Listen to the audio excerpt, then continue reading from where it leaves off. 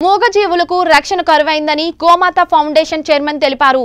ఆదిలాబాద్లో జరిగిన సమావేశంలో ఆయన మాట్లాడుతూ రోడ్లపై ఆవులు తిరగడంతో ట్రాఫిక్ సమస్యలు యాక్సిడెంట్ అయిన సందర్భాలు చాలా ఉన్నాయని ఇకనైనా మున్సిపల్ అధికారులు కానీ ట్రాఫిక్ సిబ్బంది కానీ స్పందించి ఈ సమస్యలను పరిష్కరించాలని ప్రజలని రోడ్డు ప్రమాదాలు జరగకుండా కాపాడాలని కోరారు.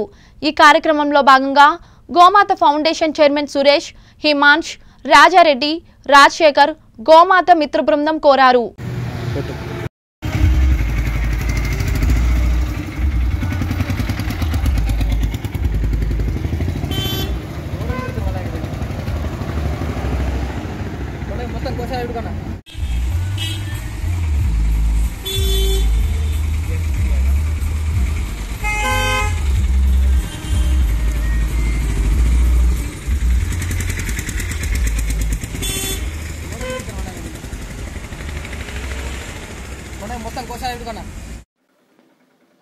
ఆదిలాబాద్ పట్టణంలో రోడ్డుపైన మూగ జీవాలు వాటికి రక్షణగా కల్పించాలని మున్సిపల్ అధికారులు ప్రజలకు ఇబ్బంది కాకుండా వాటిని గోశాలకు తరలించాలని ఒక ఆదిలాబాద్ గోమాత సేవ ఫౌండేషన్ తరపు నుంచి విన్నపం చేస్తున్నాము.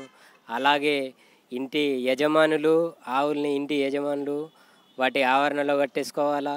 లేకుంటే వాటిని ఇట్లా రోడ్లపై వదలొద్దని ప్రజలకు ఎటువంటి ఇబ్బంది కలగకుండా చూడాలని మున్సిపల్ అధికారులు ఇప్పటికైనా దీనిపైన చర్య తీసుకోవాలా? ఎవరైతే యజమానులు ఉన్నాయో వాళ్ళకు ఒకసారి పిలిపించి